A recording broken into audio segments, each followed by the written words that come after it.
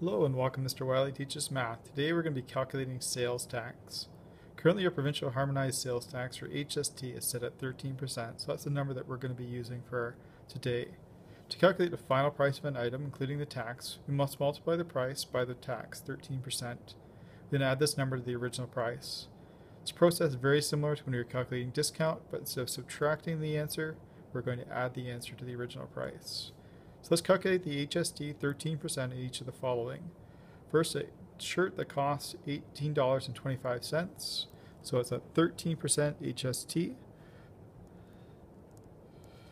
So I look at this really quickly and say that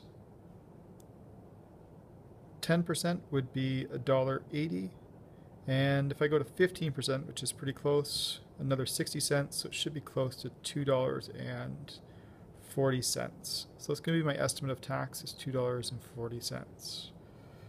All right, so I'm going to take my 18 to 25 and I'm going to multiply it by the tax of 13%. So 3 times 5 is 15, 3 times 2 is 6, 7, 3 times 8 is 24, 3 times 1 is 3 is 2, and then 5, 2, 8, 1. I'm going to add those up. 5, 12, 7, 13, with 1, 2, 3, 4 decimal places. 1, 2, 3, 4. So the actual tax, when I do a root rounding, is $2.37. So it's $2.37 tax. I'm going to have to take my original 1825. I'm going to need to add $2.37 to it. So it's 12, 6, 0, and find out when I get to the cash register, I'm going to be asked for $20.62.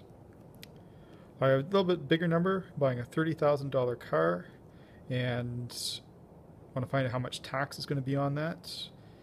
10% uh, of 30,000 would be 3,000, and half of that again. So get me up to 15 would be another 1,500. So I'm going to add 3,000, 1,500 to get an estimate of $4,500 in tax. All right, to calculate, I'm going to take 30,000 and I'm going to multiply it by 0 0.13.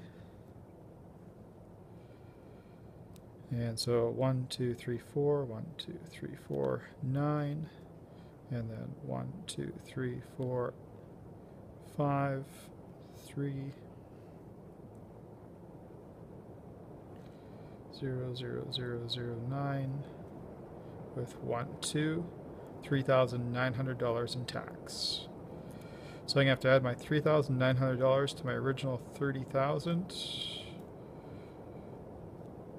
to get a final price of thirty-three thousand nine hundred dollars.